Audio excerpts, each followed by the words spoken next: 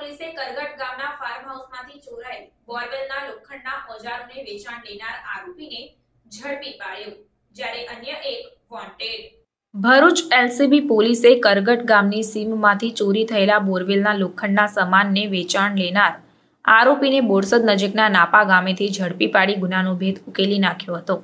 એક આરોપીની ધરપકડ કરવામાં આવી છે જ્યારે અન્ય એક આરોપીને વોન્ટેડ જાહેર કરવામાં આવ્યો છે. ઝડપાયેલા આરોપી પાસેથી પોલીસે રૂપિયા તેર હજારનો મુદ્દામાલ કબજે કર્યો છે.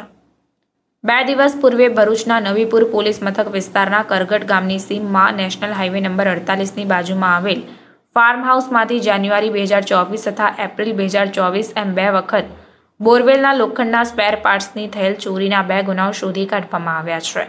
ગુનામાં સંડોવાયેલ આરોપી શાહનવાઝ ઉર્ફે શાનુએ પૂછપરછમાં જણાવ્યું કે ચોરીનો માલ બોરસદ તાલુકાના નાપા તળપત ગામમાં લોખંડનો ડેલો ચલાવતા વસીમ અલી, વારિસ અલી સૈયદે વેચાણ લઈ તેને ભાવનગર લોખંડ ઓગાળવાની કંપનીમાં વેચ્યો હોવાનું તપાસ દરમિયાન જણાઈ આવ્યું હતું, જેના પગલે પોલીસે તેને વોન્ટેડ જાહેર કરી ઝડપી પાડવાના ચક્રો ગતિમાન કર્યા છે.